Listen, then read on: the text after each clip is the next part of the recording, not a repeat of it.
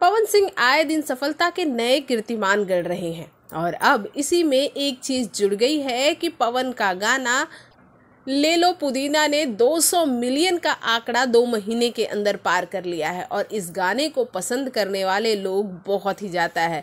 1.7 million तो इसे like मिल गए हैं, लेकिन ढाई लाख इसे डिसलाइक भी मिला है, यानी कि इस गाने को नापसंद भी लोगों ने किया है। खैर, हम आपको बता दें कि इस गाने ने भोजपुरी इतिहास को एक तरह से, पूरी तरह से बदलने की कोशिश, या यूँ कह ले कि एक कवायद की है।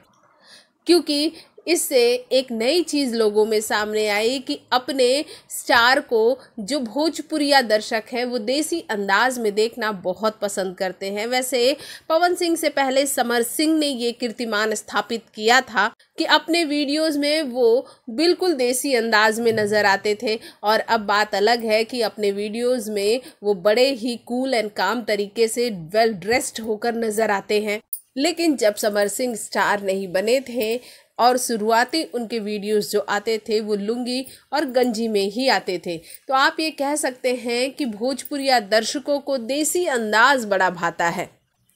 और पवन ने जब ये गाना लेकर आए, यानी कि पवन जैसे सुपरस्टार जब इस तरह के गाने लेकर आते हैं, जहाँ वो पूरी तरह से देसी या यूँ कह ले, खाटी अंदाज में नज़र आते हैं तो दर्शकों को बहुत ही दिल के करीब लगता है। वैसे आपको बता दें कि रील जो बनी है इंस्टा पर इस गाने को लेकर बहुत ही ज़्यादा बनी है। यानी कि सबसे ज़्यादा वीडियो भोजपुरी में अभी तक किसी गाने पर बने हैं तो ले लो पुदीना पर बने हैं। वैसे आपकी क्या राय है, हमारे कमेंट बॉक्स में कमेंट कीजिए। साथ ही हमारे चैनल को सब्सक्राइब करना बिल्कुल ना भूलें